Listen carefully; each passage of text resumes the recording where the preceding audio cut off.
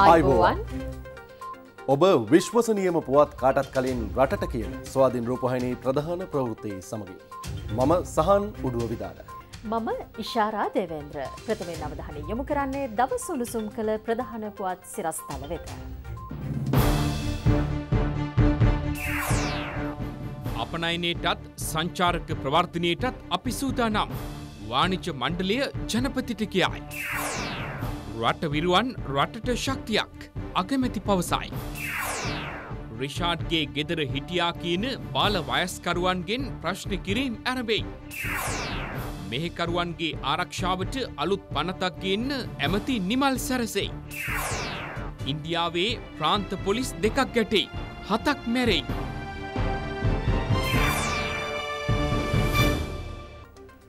එන්නත් කරණයත් එක්ක රට සාමාන්‍ය කරණයට එළඹෙත්ම අපනයන සහ සංචාරක ක්ෂේත්‍ර ප්‍රවර්ධනයට සූදානම් බව ලංකා වාණිජ මණ්ඩලය ජනාධිපති ගෝටාබේ රාජපක්ෂ මැත්තුමාට දැනුම් දුන්නා. ලංකා වාණිජ්‍ය මණ්ඩලයට තේරිපත් වූ නව නිලධහරින් ජනාධිපතිතුමා හමු අවස්ථාවේදී මේ බව ප්‍රකාශ කෙරුණේ.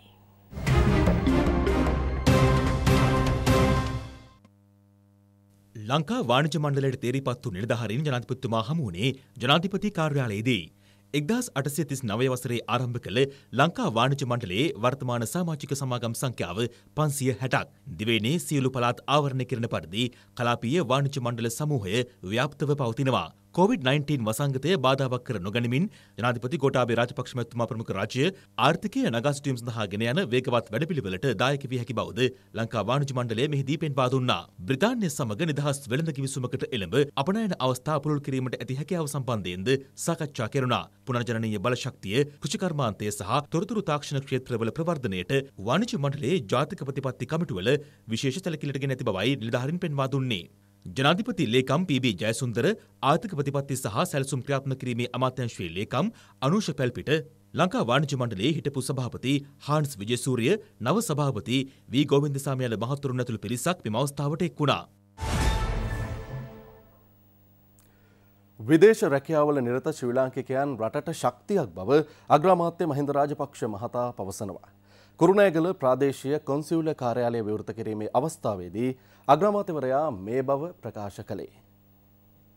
විදේශ අමාත්‍යංශයේ කුරුණෑගල ප්‍රාදේශීය කොන්සිවුල කාර්යාලය විවෘත කිරීමේ අවස්ථාවට අග්‍රාමාත්‍ය මහින්ද රාජපක්ෂ මහතා අර්ලියගා මන්දිරයේ සිට වීඩියෝ තාක්ෂණය ඔස්සේ සම්බන්ධ වුණා.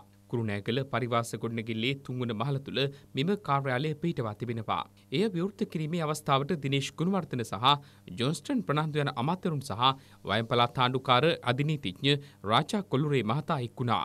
එම අවස්ථාවට වීඩියෝ තාක්ෂණය ඔස්සේ සම්බන්ධ වූ අග්‍රාමාත්‍යවරයා කියා සිටියේ විදේශ රැකියාවල නිරත ශ්‍රී ලාංකිකින්ගේ පවුල් වෙනුවෙන් යුතුකම් ඉටු කරන බවයි. මේ රටට විශාල විදේශ විනිමය ප්‍රමාණයක් ගෙන එන විදෙස්ගත ශ්‍රී ලාංකික ජනතාව වෙනුවෙන් ඔවුන්ගේ පවුල් වෙනුවෙන් අපි අපේ යුතුකම් ඉටු කළ යුතුයි. කොයිඩ් වසංගතයන වන්න වැඩිම විදේශ විනිමය ප්‍රමාණයක් ලැබුණේ ඔවුන්ගේ බව අපි අමතක කළ යුතු නැහැ. එය රට රැකියාවලට යන්නේ සැපවිනි නනෙවෙයි. රටකට බරක් වෙනවට වෙනුවට ඔවුන් රටට ශක්තියක් වන බවයි අපි විශ්වාස කරන්න. මේ අයට ඔවුන් ඉන්න රටවල් වලදී රැකිය ස්ථානවලදී විවිධ ගැටලුවලට මුණ දෙන්න සිද්ධ වෙන බව අපි දන්නවා. සමහරට ඒ රටවල් වලදී භාවිතයට ගන්න පැන්න සාතික අධ්‍යාපන සාතික විවාහසාතික පිළිබඳ ගැටලුත් වෙනවා. මේවා කඩිනමින් ඉටු කරන්න වමනා වුණාම ඔගේ පවුල්වල සාමාජිකයන්ට විශාල කරදරවලට මුණ පාණ්ඩ සිද්ධ වෙනවා. අපි දන්නවා රට රැකියාවල නිරත වෙලා ඉදී කරදරයක් වුණාම ඒ සම්බන්ධව සාතික සත්‍යාපනය කරන්න කොන්සිවල කාර්යාලයක් අනිවාර්යෙන් අවශ්‍ය වෙන. මේ ගැන හිතලා තමයි අපි රටට විශාල විදේශ විනිමයක් ගෙනෙන පිරිසක් ඉන්න වයඹට කොන්සිවල කාර්යාලයක් දෙන්න ඕන කියලා තීරණය කළේ. ලොව මෙතෙක් හමුවී ඇති විශාලතම ආර්නූල් මැනික් සමූහය රත්නපුර කහවත්ත ප්‍රදේශයෙන් හමුවී ඇති බව ජාතික මැනිකා ස්වර්ණභරණ අධිකාරිය පවසනවා. එම මැනික් පොකුර කහවත්තු ප්‍රදේශයේ නිවසක් පිටුපස ලිදාකාරණ අවස්ථාවේ හමුවී ඇති බව සඳහන්. කිලෝග්‍රෑම් පන්සිය දහයක බරින් යුක්ත මෙම මැනික් පාශාන පොකුරේ වටිනාකම ඇමරිකා ඩොල මිලියන සියය ඉක්මවන බවයි මැනිකා ස්වර්ණාභරණ අධිකාරිය සඳහන් කරන්නේ. කැරට් ලක්ෂ විසිපහකින් යුක්ත මෙය සෙරන්ටික් පිටි සෆාය ලෙස නම් කර තිබෙනවා.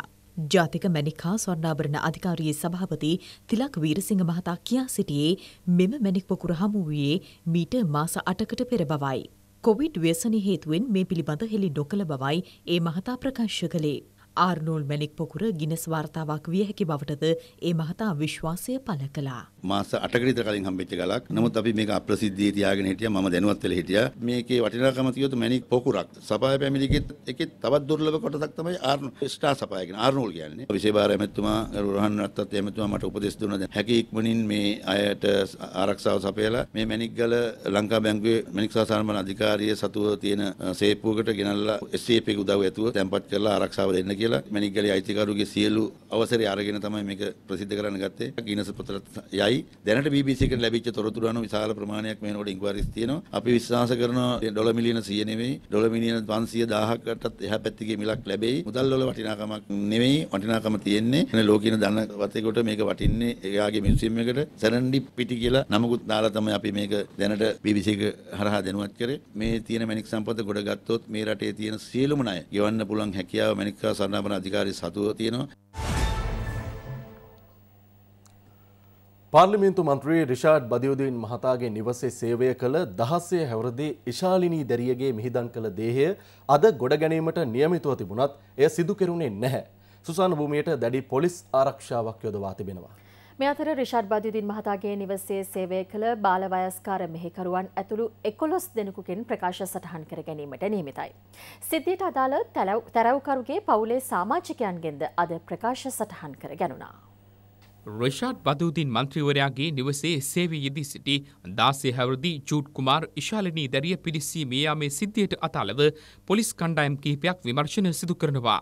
සිද්ධියට අදාළ නඩුව ඊයේ කැඳ වූ අවස්ථාවේ දේහය ගොඩ ගැනීමට කොළඹ මහිස්ත්‍රාත් අධිකරණය නියෝග කළා. එහිදී දන්වා සිටියේ ජේෂ්ඨ අධිකරණ වෛද්‍ය නිලධාරීන්ගෙන් සමන්විත මණ්ඩලයක් මකින් නැවත මරණ පරීක්ෂණයක් පවත්වා අධිකරණයට කරුණු වාර්තා කරන ලෙසයි. එබැවින් ඊයේ දිනේ සිට සිරුර මිහිදන් කළ ස්ථානයේ අවට ආරක්ෂාව තර කිරීමටයි ඩයගම පොලිසිය ක්‍රියා කර තිබෙන්නේ. එම සිරුර ගොඩ ගැනීමට අද දිනේ සැලසුම් කර තිබුණද එය සිදු වූයේ නැහැ.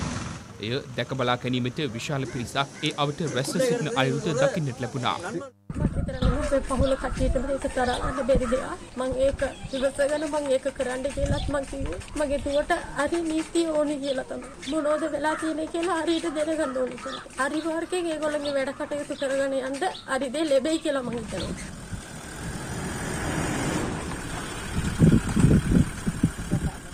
විශේෂ පරීක්ෂණයක් සඳහා ඩයගම් ප්‍රදේශයට පැමිණි සිටින ප්‍රධාන පොලිස් පරීක්ෂක වරුණී බෝගාවත් මහත්මිය තුළ විමර්ශන කණ්ඩායම කිහිප දෙනෙකුගෙන් දීර්ඝව ප්‍රකාශ සටහන් කරගන්නා අයුරු දකින්නට ලැබුණා. රිෂාඩ් පතුතින් මහතාගේ නිවසේ මීට පෙර සේවය කළ බාල වයස්කාර මෙහිකාරයන් හා තැරව්කරුගේ පවුලේ සාමාජිකින් මේ අතර වනවා. සිද්ධිය සම්බන්ධයෙන් අත්අඩංගුවට ගත් රිෂාඩ් පතුතින් මන්ත්‍රීවරයාගේ බිරිඳ ඇතුළු සැකකරුවන් හතර දෙනා ඊයේ අධිකරණයට ඉදිරිපත් කළේ දෙවන දිනටයි. එහිදී ඔවුන් ලබන නම්වනදාතෙක් රක්ෂිත බන්ධනාගාරගත කෙරෙනු අතර මේ වන විට මහනුවර පැරණි බෝගම්බර බන්ධනාගාරයේ පිහිටවා ඇති නිරෝධායන මධ්‍යස්ථානයේ නිරෝධායනය වනවා. සිද්ධියට අතාලව සිදු කරන පරීක්ෂණවල ප්‍රගතිය අධිකරණයට දැනුම් දුන් නියෝජ්‍ය සොලිසිටර් ජෙනරාල් දිලීප පීරිස් මහතා ඊයේ සඳහන් කළේ සිද්ධිය සිදු වූ නිවසේ ගෘහමූලිකයා ලෙස රිෂාඩ් පතුදින් මහතා ක්‍රියා කර ඇති බැවින් ඔහුද සැකකරුවෙකු ලෙස අධිකරණයට ඉදිරිපත් කිරීමට බලාපොරොත්තු වන බවයි. මේ අතර මියගිය ඉශාලනීන් රැඳී සිටි රිෂාඩ් බදුද්දීන් මහතාට අයත් බොරැල්ල බෞද්ධාලෝක මාවතේ පිහිටි නිවස අසල මාධ්‍ය කණ්ඩායම් රැඳී සිටින අයුරු අදත් දකින්නට ලැබුණා. මේ අතර දැරිය මියා මේ සිද්ධිය සම්බන්ධයෙන් අදත් ප්‍රදේශ කීපයකදීම උද්ඝෝෂණය පැවැත්වුණා. ඩයගම් ප්‍රදේශයේ කම්කරුවන් පිරිසක් ඩයගම වතුයායෙන් ආරම්භ කළ උද්ඝෝෂණ පාගමන නගරය පසු කරමින් ඉශාලනී මිහිදන් කළ පොදු සුසාන භූමිය දක්වා පැමිණියා. එහිදී පහන් දල්වමින් දැරිය වෙනුවෙන් ශෝකය පළ කෙරුණා.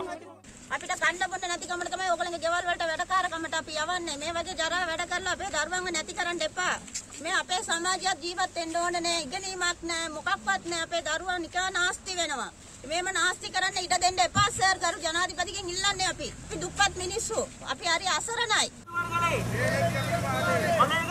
නාවල පිටිය නගරේදීද උද්ඝෝෂණයක් සංවිධාන කර තිබුණා. ජයතිලක ක්‍රීඩාංගනය අසල සිට පාගමනින් පැමිණි ජනතාව නගර මතයේ සිට උද්ඝෝෂණය නියලුණා. මමත් අම්ම කෙනෙක් විදිහට මම හැමෝගෙම ඉල්ලා සිටින්නේ ಜಾති ආගම් වලින් තොරව මේ වගේ අඩු වයස ළමයි මෙහෙකාර සේවයට යවලා මෙවැනි ඉරණමකට අත් නොවෙන්න අපි හැමෝම වග බලා ගන්න ඕනි කියලා. ඉසාලනි වගේ කීදනෙද්දෝ අඩු වයසේ රැකි රස්සාවලට ගිහිල්ලා තමන්ගේ ජීවිත පූජා කරන වගේ අවස්ථාවල් තියෙනවා. ඒ නිසා අපි සියලු දෙනාම අපේ අනාගත ළමයි පරපුර රැකගමු කියන ඉල්ලීම මම ඔබ සියලු දෙනාගෙන් ඉල්ල ගන්නවා.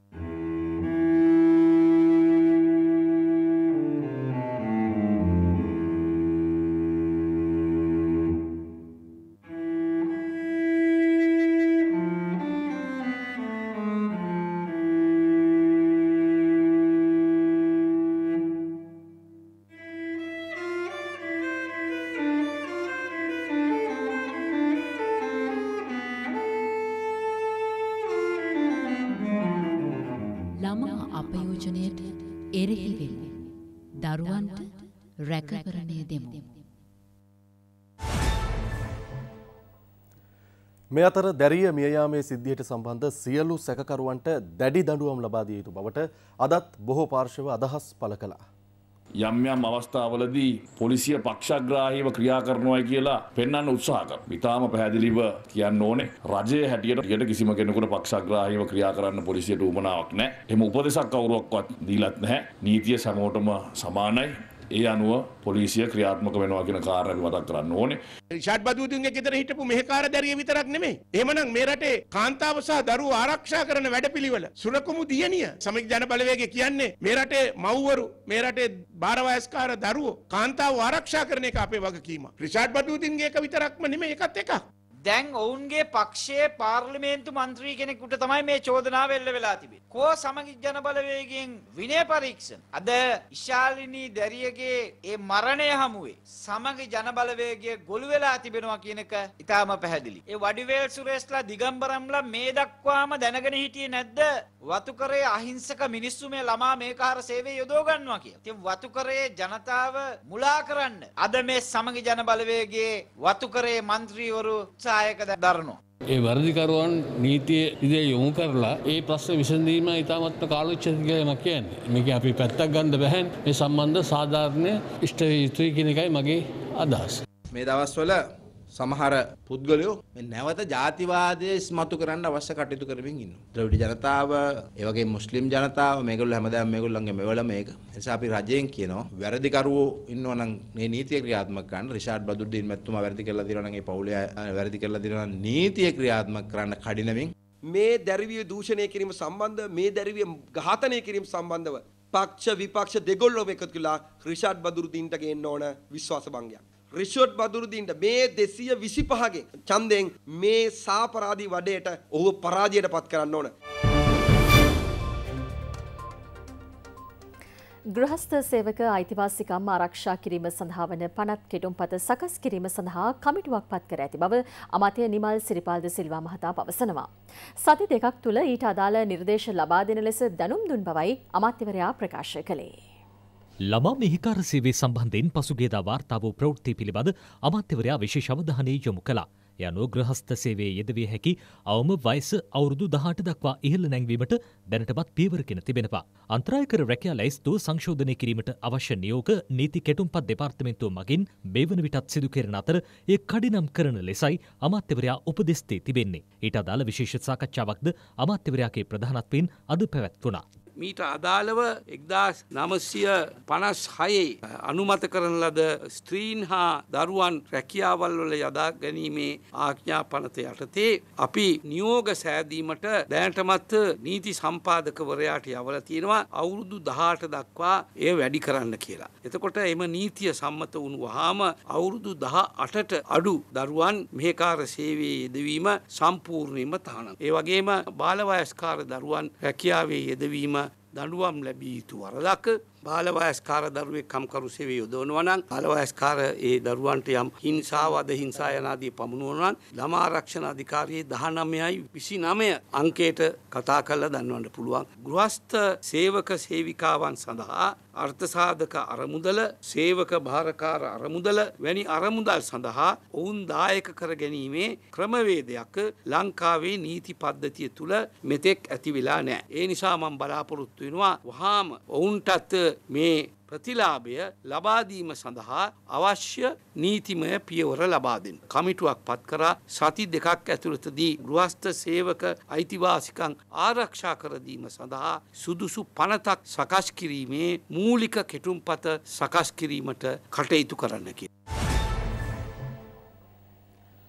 ගුරු සහ විදුහල්පති ගැටලුවලට විසඳුම් ලබා ගැනීමේ අරමුණෙන් අග්‍රාමාත්‍ය මහින්ද රාජපක්ෂ මහතා සහ ගුරු සංගම් නියෝජිතයන් අතර අද පැවති සාකච්ඡා අසාර්ථක වුණා.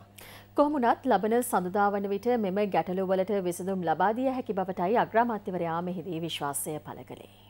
වැටුප් විෂමතා මුල් කරගනිමින් ගුරු සහ විදුහල්පති සංකම් ඒකාබද්ධව වෘත්තීය ක්‍රියාමාර්ගය ආරම්භ කර අදට දින 16ක් සපිරෙනවා. ඒ හේතුවෙන් ඔන්ලයින් අධ්‍යාපන කටයුතුද සම්පූර්ණයෙන්ම අඩාල වුණා. තම ඉල්ලීම් වලට විසඳුම් ලබා දෙන ලෙස ඉල්ලා ගුරු සංකම් අඛණ්ඩව උද්ඝෝෂණ ක්‍රියාමාර්ගයක නිරතව සිටිනවා.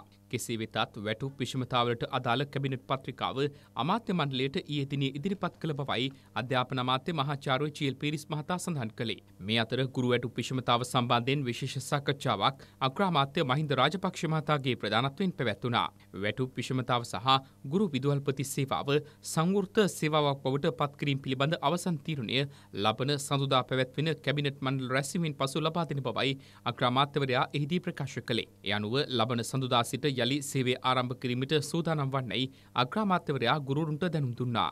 ප්‍රතිපත්තියක් වශයෙන් තම උන්වහන්සේලා කියන දේ රජය පිළිගන්නවා. ඒක කිසි ගැටලුවක් නැහැ. ඊළඟට දැන් අපි බලන්න ඕන මේක ක්‍රියාත්මක කරන්නේ කොහොමද කියලා. මුදල් පිළිබඳ තියෙන ගැටලුව තියෙනවා අපිට. ඒකට මූණ පාලනක් තියෙනවා. ඒක නිසා එතෙන්දි කොහොමද අපි ක්‍රියාත්මක වෙන්නේ කියන එකත් අනිත් ශේෂ්ත්‍රවලට මේක බලපෑම් කොයි ආකාරයෙන් සිදු වෙනවද කියන එකත් තමයි අපිට සෝරගන්න තියෙන්නේ. වහන්සේලාගේ මේ යෝජනාව ලබන සඳුදාට කැබිනට් මණ්ඩලයට ඉදිරිපත් කළා පිටින්දුවක් අරගෙන ලබන සතියේ අපි මුණ ගැහෙමුවා. සාකච්ඡාවෙන් පසු ඊට සහභාගී වූ ගුරු සංගම් නියෝජිතින් මාධ්‍ය වෙත අදහස් දැක්වුවා. කැබිනට් මණ්ඩලය තීරණය කරා කියලා කිව්වේ අනුකමිටුවක් කරා ප්‍රශ්න විසඳුම් ප්‍රවේශයකට යන්න. අපි අනුකමිටු ප්‍රතික්ෂේප කළා. එතකොට ඒ අනුව නැවත කැබිනට් පත්‍රිකාවක් එළමෙන සඳුදා දින නිකුත් කරන්න තීරණය ගත්තා මේ ප්‍රශ්න විසඳීම සඳහා. අපි පැහැදිලිවම ඉන්න ස්ථාවරය තමයි අපි දැනට අරන් දෙන වෘත්තීය ක්‍රියාමාර්ග සියල්ල අකණ්ඩව ඉස්සරහට යනවා මේ ගැටලුව විසඳනතුරු.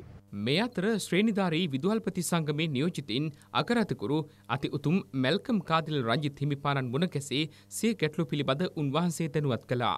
සිය එල්ලීම් සහිත සංදේශයක්ද ඔවුන් අගරතකුරු හිමිපාණන් වෙත බාර දුන්නා. මේ අතර විශ්වවිද්‍යාල ආචාර්ය මණ්ඩලයේද ඔන්ලයින් ක්‍රමවේදයෙන් ඉවත්ව තිබෙන බව වාර්තා වනවා. සියලු ශ්‍රේණිවල දරුවන් සඳහා විෂය නිර්දේශයට අනුව සකස් කළ පාඩම් මාලා විද්‍යුත් නාලිකා ඔස්සේ විකාශය කිරීමට කටයුතු සූදානම් කර ඇති බව රාජ්‍ය අමාත්‍ය සුසිල් ප්‍රේමජයන්ත මහතා පවසනවා. පොදුජන පෙරමුණ කාර්යාලයේ පැවති මාධ්‍ය හමුවට එක්වෙමින් ඒ මහතා මේ බව කියා සිටියා. ඊළඟ සති දෙක තුළදී ක්‍රියාත්මක කිරීම සඳහා අවශ්‍ය වන්නා වූ පාඩම් නිෂ්පාදනය කළා තියෙනවා. පසුගිය අවුරුද්දේ සැප්තැම්බර් මාසයේ ආරම්භ කළා මේ වෙනකොට මුළු අවුරුද්ද පුරා සෑම ශ්‍රේණියකම ප්‍රධාන විෂයන් විෂය නිර්දේශය අනුව ගුරුවත් පොත අනුව පාඩම් හදලා ඒවා නිෂ්පාදනය කළා තිනවා පාඩම් 6800. විෂයන් 52ක් සඳහා. ඊළාට වෛකල්පික විෂයන් තියෙනවා චිත්‍ර නැටුම් සංගීත මේ වගේ. ඒ වෛකල්පික විෂයනුත් මේ වෙනකොට විශාල ප්‍රමාණයක් නිෂ්පාදනය කරලා අවසන් කරලා තිනවා නිෂ්පාදනාගාර 6ක. ඊළඟට උසස් පෙළ විද්‍යා විෂය ධාරාවන් සහ කෘෂිකර්ම විද්‍යාවේ ප්‍රායෝගික පරීක්ෂණ පිළිබඳව ඊළඟ සති දෙක තුන වෙනකොට නිෂ්පාදනය කරලා අවසන් වෙනවා. මේ සියල්ලම අපේ විද්‍යුත් නාලිකා මගින් ප්‍රචාරය කිරීම සඳහා තමයි සැලසුම් කරගෙන තියෙන්නේ.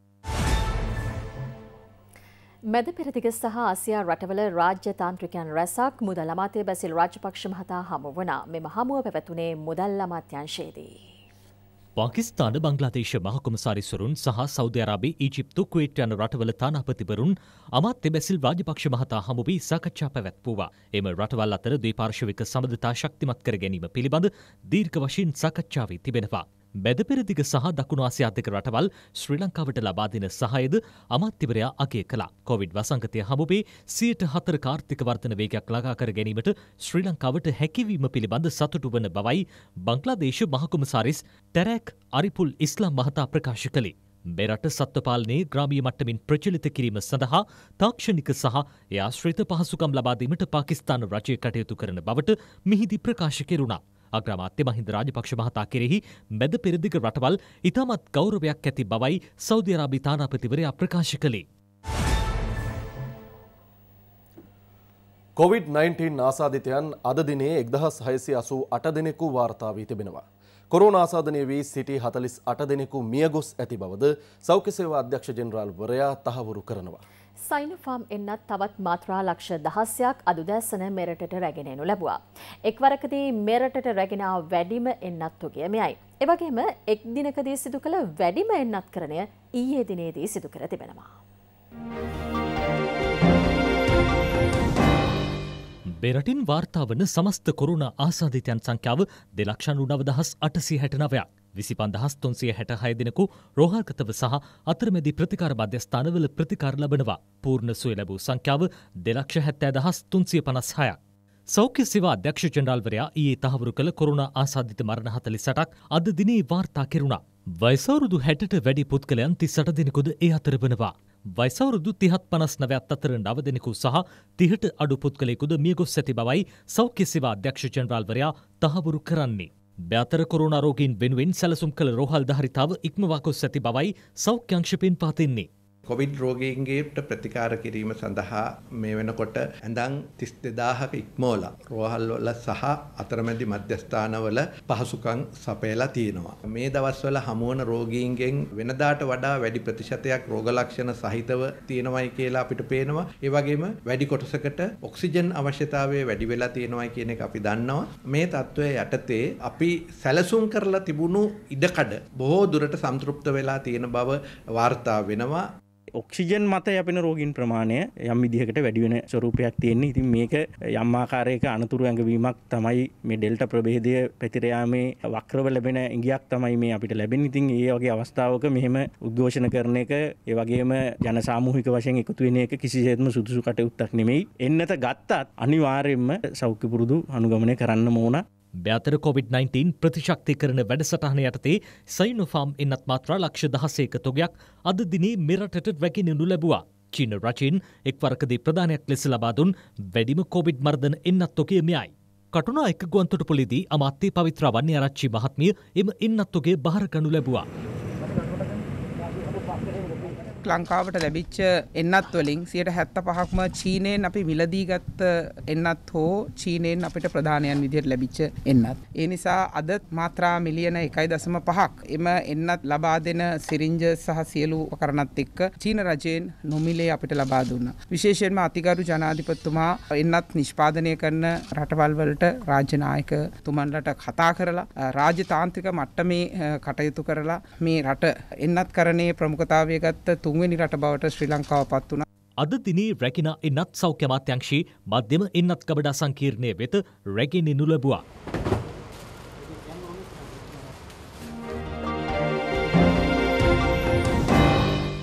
රාජ්‍ය දැව සංස්ථාවට රුපියල් ලක්ෂ හත්සිය දෙකක මුදලක් ගෙවීම වනසංරක්ෂණ දෙපාර්තමේන්තුව පැහැර හැර ඇති බවට හෙළි වූ බව අමාත්‍ය සීබී රත්නායක මහතා පවසනවා. රාජ්‍ය දෙව සංස්ථාවේ ප්‍රගතිය විධිමත් සැලස්මක් යටතේ ව්‍යූහගත කිරීම පිළිබඳ සාකච්ඡාවක් අමාත්‍යවරයාගේ ප්‍රධානත්වයෙන් පැවැත්වුණා. දෙව සංස්ථාවේ නිෂ්පාදන විවිධාංගීකරණය සහ අලවිකරණය පිළිබඳ සැලසුම් රැසක් මෙහිදී ඉදිරිපත් කෙරුණා.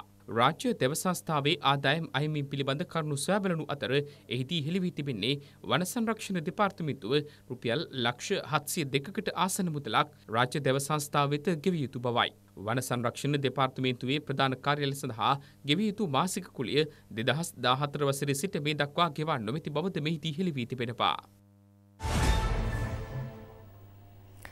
කොරුණා වසංගතය හමුවේ වුවත් අවධානමට මුහුණ දෙමින් ආයතන රැසක් ජනතා සේවය ඉටු කරමින් සිටිනවා. අත්‍යවශ්‍ය සේවා සපයන එම ආයතන කොරුණා වසංගතය හමුවේ ක්‍රියාත්මක වන ආකාරය මෙන්ම මහජන සේවාවන් ලබාගත හැකි ක්‍රමවේදයන් පිළිබඳවත් අපි සොයා බැලුවා. අපි අද ඔබට ඉදිරිපත් කරන්නේ වේරහැර මෝටර් රථ දෙපාර්තමේන්තුව මේ දිනවල මහජන සේවා සපයන ආකාරය පිළිබඳවයි. රියදුරු බලපත්‍ර නිකුත් කිරීම මෙන්ම න්‍යාමනය සම්බන්ධයෙන් බලයලත් ආයතනය වන්නේ මෝටර් රථ ප්‍රවාහන දෙපාර්තමේන්තුවයි. දෛනිකව එම දෙපාර්තමේන්තුව මකින් දහස් ගණනකට සේවා සපයනවා. පවතින කොරුණා තත්ත්වය හමුවේ සෞඛ්‍ය මාර්ගෝපදේශවලට යටත්ව යම් සීමා කිරීම් සහිතව මේ සේවා සපයන්නත් කටයුතු කර තිබෙනවා. නව රියදුරු බලපත්‍ර නිකුත් කිරීම බලපත්‍ර අලුත් කිරීම නව වාහන පන්ති ඇතුළත් කිරීම ඇතුළු සේවාවන් රැසක් මෙම දෙපාර්තමෙන්තුව තුළින් සිදු කෙරෙනවා. එම සේවාවන් ලබා ගැනීම සඳහා දිනයක් වෙන්කර ගැනීම අත්‍යවශ්‍ය වනවා. මේ දුරකථන අංකය මගින් දිනයක් හා වේලාවක් වෙන් කරගන්න අයදුම්කරුවන්ට පමණයි අපි සේවාවන් ලබා දෙන්නේ. නමුත් අපෙන් දැනටමත් ප්‍රායෝගික පරීක්ෂණ සඳහා සහ ලිඛිත පරීක්ෂණ සඳහා අපි දින හා වේලාවන් දීපු අයදුම්කරුවෝ ඉන්නවා. ඒ අයදුම්කරුවන්ට ඒ ලබා දීලා තියෙන දිනේට හා වේලාවට ඇවිල්ලා තමන්ගේ කාර්ය ඉෂ්ට කරගන්න පුළුවන්. ඒ වගේම අපි මේ කාර්යාලයේ වසා තිබිච්ච කාල සීමාවක් තිබුණා. එතකොට ඒ කාල සීමාව තුල යම් අයදුම්කරුවෙකුට රියදුරු ලිඛිත පරීක්ෂණය හෝ රියදුරු ප්‍රායෝගික පරීක්ෂණයට පෙනී සිටින අවස්ථාව ලැබුණ නැත්නම් ඒ අයිදුම්කරුවෙකුට Tamanට දැනට ලැබිලා තියෙන මේ ලිඛිත පරීක්ෂණ දින ප්‍රවේශ පත්‍රය හෝ ප්‍රායෝගික පරීක්ෂණ දින ප්‍රවේශ පත්‍රය අරගෙන ඇවිල්ලා වේරහැර කාර්යාලයට ඒක ඉදිරිපත් කරලා Tamanට වෙනත් දිනයක් ලබා ගැනීමේ පහසුව අපි සලසලා දීලා තියෙනවා. කල්ලිකුත් වෙච්ච රියදුරු බලපත් සම්බන්ධව ගත්තොත් අපි මේ අවුරුද්දේ අප්‍රේල් 1 සැප්තැම්බර් 30 අතර කාලය තුල කල්ලිකුත් වන රියදුරු බලපත්‍රවල කාලය කල්ලිකුත් වන දින සිට මාස 6කට අපි දීර්ඝ කරලා තියෙනවා. එතකොට එම කාල සීමාව අතරතුර ඕනෑම අයෙකුට Tamanට ළඟම තියෙන කාර්යාලයට ගිහිල්ලා Tamanගේ රියදුරු බලපත්‍රය අලුත් කර ගැනීමේ කාර්ය කරන්න පුළුවන්. අනුරාධපුර සහ හම්බන්තොට පිහිටි මෝටර් රථ දෙපාර්තමේන්තුවේ ප්‍රාදේශීය කාර්යාලවලිනුත් මෙම සේවාව ලබාගත හැකි. රියතුරු බලපත්‍ර මුද්‍රණය කිරීම සිදු කරන්නේ යොද හමුදා තොරතුරු තාක්ෂණ අංශය මකින්. රියතුරු බලපත්‍ර මුද්‍රණය ඉහළ කාරක්ෂමතාවකින් සිදු කිරීමද විශේෂත්වයක්. ඒ සමගින් ප්‍රධාන ප්‍රවෘත්ති අවසන්. මේ අනතුරුව විපරම විශේෂාංගය බලාපොරොත්තු වන්න. ඔබට සුභරාත්‍රයක්. ආයිබෝවන්.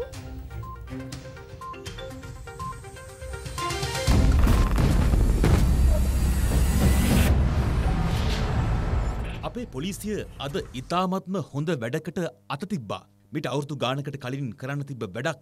හැබැයි පරක්කු වෙලා හරි පටන්ගත් එක ලොකුම ලොකු දෙයක්. ඉස්කෝල ගිහිල්ලා ඉගෙන ගන්න ඕනේ දරුවෝ ගෙවල්වල කඩවල්වල ෆැක්ට්‍රිවල කොහේ කොහේ හරි තැන්වල මෙහෙකාර කමකට රස්සාාවකට තියාගෙන ඉන්නවද කියලා බලන්න අපි පොලිසිය නොන මහොත්තුරු අද කොළඹ තැන්තැන්වල ගෙයක් ගයක් ගානේ කඩයක් කඩයක් ගාන යනව දැක්කා හොඳම හොඳ වැඩක් අගේ කරන්න විතරක් නෙවෙයි අපි කවුරු කවුරුත් උපරිමයෙන්ම සහයෝගය දෙන්න ඕනි වැඩක් මොකද අනාගත පරම්පරාවේ විනාසය සිද්ධ වෙන තැන් මේ විදියට වහල දැම්මෙන් නැත්තං රටට බිහිවෙන්නේ අධ්‍යාපනයක් නැති දැක්මක් නැති රටක් තොටක් ගැන ලෝකයක් ගැන දන්නේ නැති වහල් පරපුරක් විතරයි. මොන ක්‍රමයකින් හරි සල්ලි ටිකක් හොයාගත්ත සමහරක් උන්දලා උජාරුව පෙන්න්නත් එක්ක ගෙදර වැඩට සර්වන්ට් ලගන්නවා. වතුකරේ කරක් ගහන තැරවකාරයෝ ටිකක් දුප්පත්කම නිසා එදාවේල කන්න නැතුව ඉන්න දූල පුතාල ටිකක් හොයාගෙන කොළඹ නෝන මහත් හොරුන්ට විකුණනවා. මේකත් තනිකරම වහල් වෙළඳාමම තමයි. මෙහෙකාරකම කියලා හරි රස්සාාවකට හරි මේ විදිහට විකුණන්නේ වෙන කවුරුවත් නෙවෙයි අපේ දරුවන්ව. ඉස්කෝල ගිහිල්ලා පතපොත කියවගෙන උගත්කමින් මොලය දියුණු කරගෙන අනාගතය ජයගන්න ඉන්න දරු පරම්පරාව. නීතියෙන් බැලුවත් මේක සම්පූර්ණයෙන්ම වැරදි වැඩක් දැනට තියෙන විදිහට අවුරුදු දහසයට අඩුනං රස්සාාවක් දෙන්නත් බෑ මේකාරකමට ගන්නත් බෑ කරකාර බැඳ ගන්නත් බෑ කැමැත්ත තිබ්බත් ලිංගික කටයුතුවලට පොළඹව ගන්නත් බෑ. ඒක තමයි රටේ නීතිය පොතේ තියෙන නීතිය ක්‍රියාත්මක වෙන්න ඕන නීතිය. හැබැයි සමහරක් හයිෆයි කියන උදවිය අමු අමුවම කඩන නීතිය. නවන නීතිය. අන්න ඒ කඩපු නවපු නීතිය කෙලින් කරලා හරිගස්සලා ක්‍රියාත්ම කරන්න අපේ පොලිසිය අද පාරට බැහැපු එක නම් හොඳම හොඳ වැඩක්. අපි දැක්කා ගෙවල් ගාන යන හැටි කඩවල් ගාන යන හැටි දරුවෝ ඉන්නවද කියලා හොයන හැටි හැබැයි පොලිස්පතිතුමනි අපේ හිතවත් පොලිසියේ ජේෂ්ඨතම ඉහළම නිලධහරි මහත්තුරුණි මේක අදට විතරක් සීමා කරන්න එපා. මීඩියා ශෝය එකක් විතරක් කරගන්නත් එපා. තරාතිරමක් දනවත්කමක් බලවත්කමක් බලන්නත් එපා. පොලිසිය මිනිස්සුන්ගෙන් ඉල්ලපුදේ මිනිස්සු ඉෂ්ට කරයි. එතමයි දන්න දෙයක් තියෙනවනං හංගන්නේ නැතුව කියන්න කියන එක. දීපු ටෙලිෆෝන් නම්බරයට දන්න දෙයක් තියෙනවනං කතා කරයි. හැබැයි පනිවුඩය දෙනකොටම ඒක ගන්නවනං ලද සැනින් එසනින් වැඩේ ක්‍රියාත්මක වෙනවනං කිසිම සැකයක් නෑ මෙහිවුම අති සාර්ථක වෙයි. හැබැයි පොලිසියේ ලොකු මහත්තුරුන්ගෙන් ඉල්ලීමකුත් තියෙනව කරන්න.